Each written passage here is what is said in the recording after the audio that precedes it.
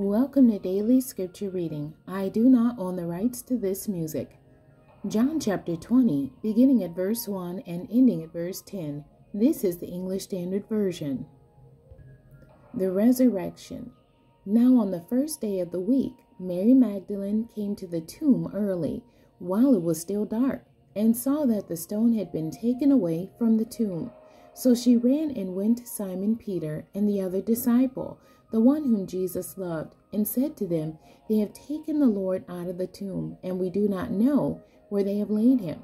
So Peter went out with the other disciple, and they were going toward the tomb. Both of them were running together, but the other disciple outran Peter and reached the tomb first.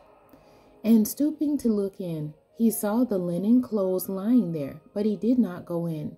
Then Simon Peter came, following him, and went into the tomb he saw the linen clothes lying there, and the face cloth which had been on Jesus' head, not lying with the linen clothes, but folded up in a place by itself.